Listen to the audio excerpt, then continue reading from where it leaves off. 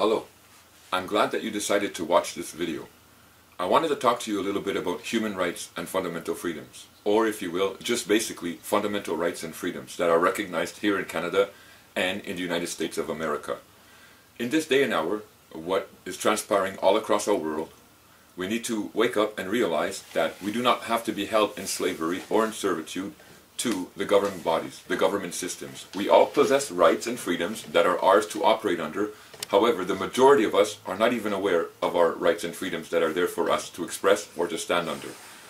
Now, if you're living in Canada, you've been designated a Canadian citizen. And as a Canadian citizen, you have the right to vote. Would you agree? Come election time, you can go and exercise this right. You can go to the polling stations and you can decide what political party you want to vote for and make that decision, check off the party, and cast your ballot. Well, let's go back for a second here. You have the right to vote, right? However, no one will come with a gun at election time. No uh, public officer will come with a gun drawn and say, you have to go to the polling station and you must cast a vote. You are under obligation. That is ridiculous. No one would ever do that. Why? Because you, as a Canadian citizen, has been granted a right, or as an American citizen, has been granted a right to vote. And being granted a right does not produce an obligation. So I just want to make that clear, and I want you to see that expression of law that comes out. A lot of people think that if we have a right, it produces an obligation, or if we have a right, that we have to exercise this right. Not at all. A right is something that we can choose to use or choose not to use, and that operation of law comes clearly out with what we are given as a citizen, the right to vote. Now I want you to keep uh, mind of that sentence, the right to. We're going to look on more about our fundamental rights and freedoms. The Universal Declaration of Human Rights, Article 21. Everyone has the right to take part in the government of his country directly or through freely chosen representatives. The International Covenant on Civil and Political Rights, Article 25.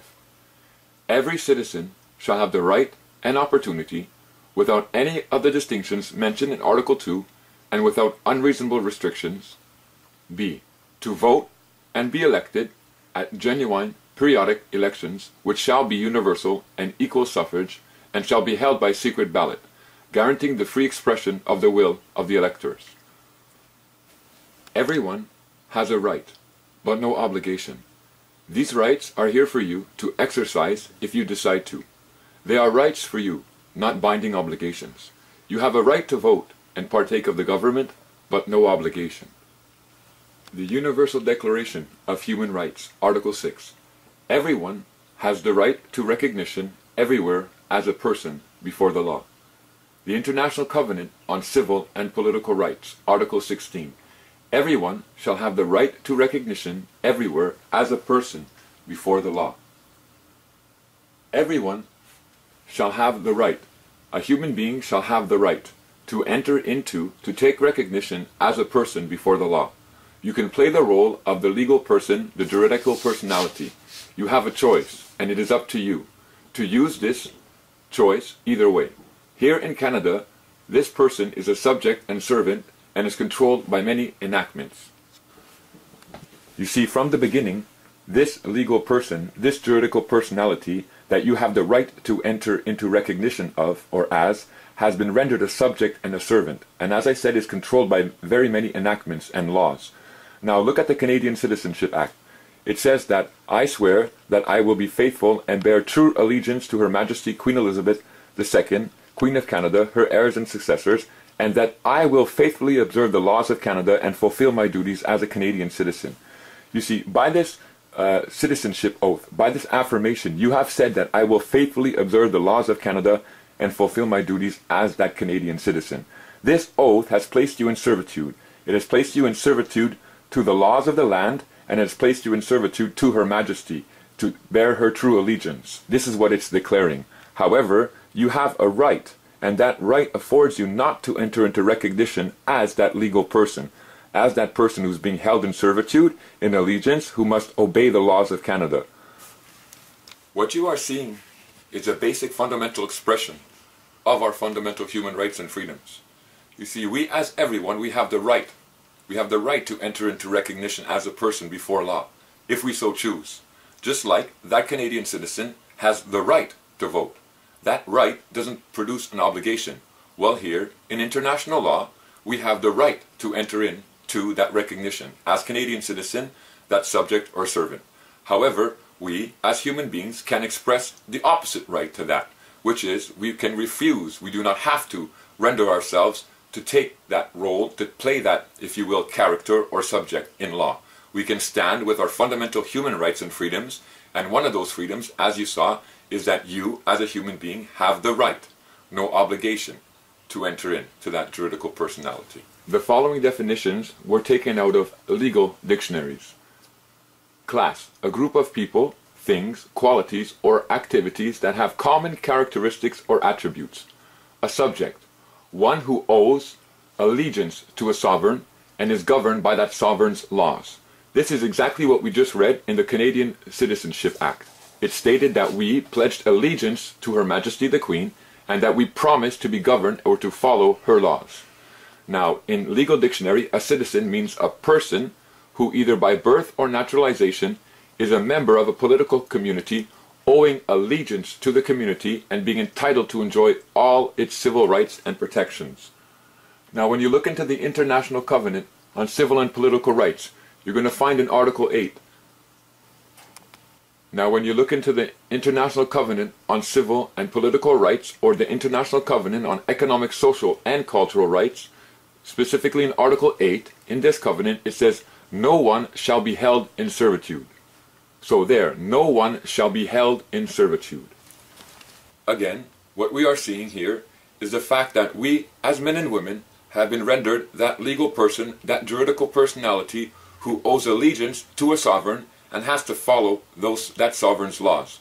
However, it's very clear one of our freedoms that are recognized in international law and therefore in domestic law is the fact that no one, no human being, no man, no woman can be held in servitude.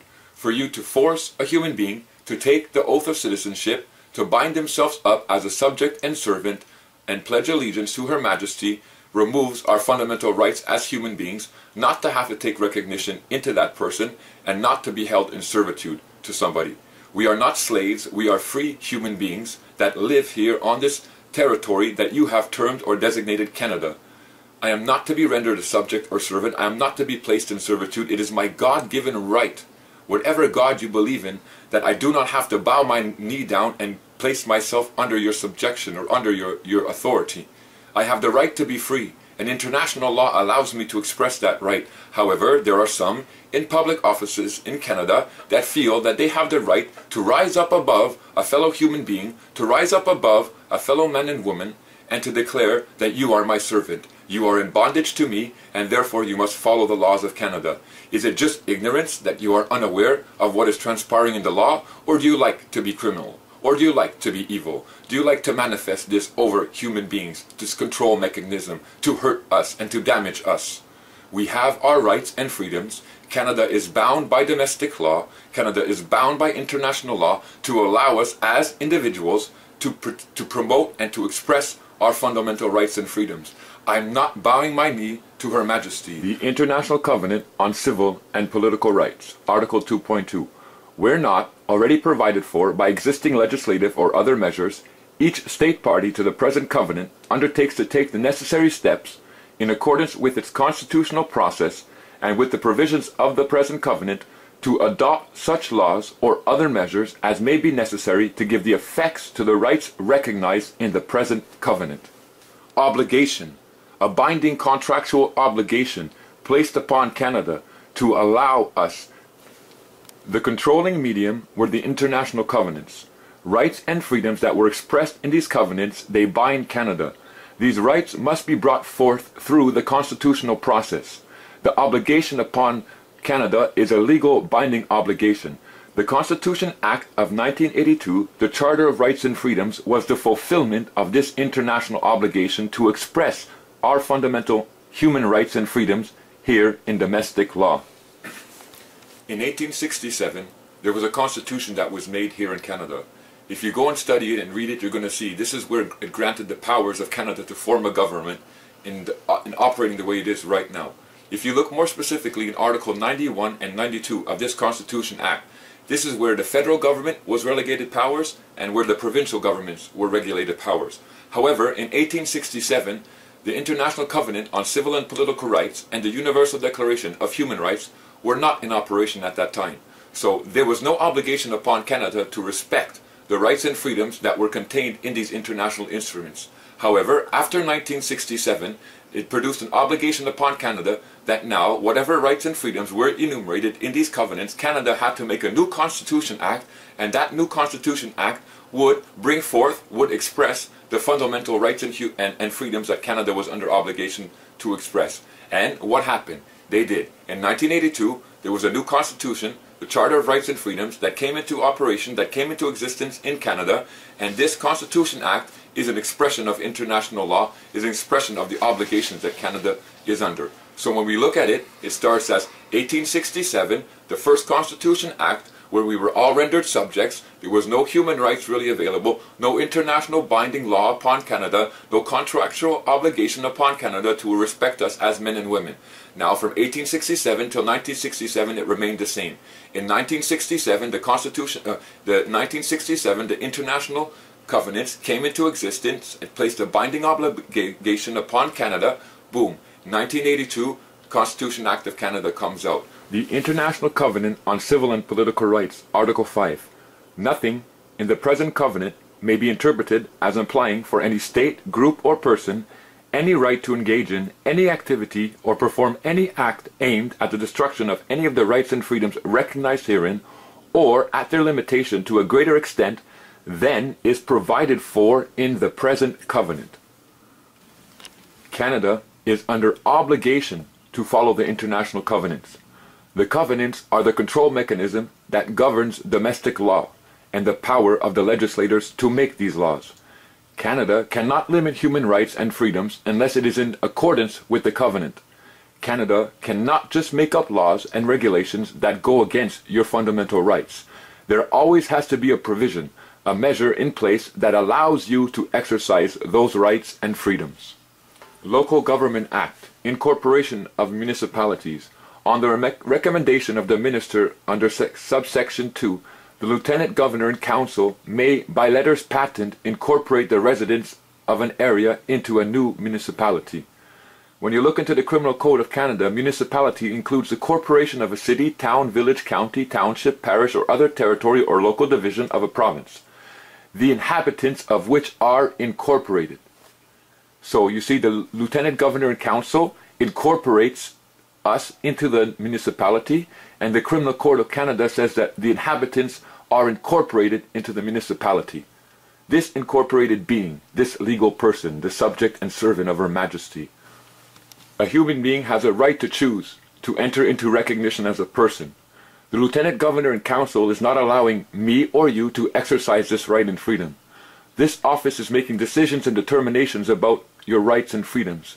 It is through this operation of law that they are designating us legal persons, that incorporated being, the juridical personality, the artificial person. This operation of law is against international law and against human rights and fundamental freedoms.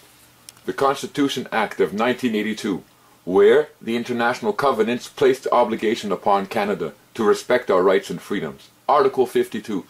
The Constitution of Canada is the supreme law of Canada and any law that is inconsistent with the provisions of the Constitution is, to the extent of the inconsistency, of no force or effect.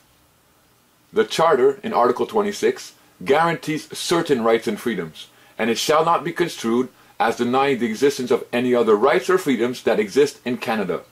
So it is very clear that the Constitution Act of Canada is the supreme law of Canada, and that this Charter the Constitution Act of Canada 1982, Article 52. The Constitution of Canada is the supreme law of Canada, and any law that is inconsistent with the provisions of the Constitution is, to the extent of the inconsistency, of no force or effect. Now, Article 26 of the Constitution Act states that the guarantee in this charter of certain rights and freedoms shall not be construed as denying the existence of any other rights or freedoms that exist in Canada. The government is a corporate body for public right. They are trying to incorporate you into this body. You have the right and freedom of association, and they cannot force you to be part of them. You have the right to play the role of juridical personality, the subject or servant. A right is something you must exercise, you must bring forth. The government's actions are against your fundamental rights, so you must exercise your right, not to be held in servitude.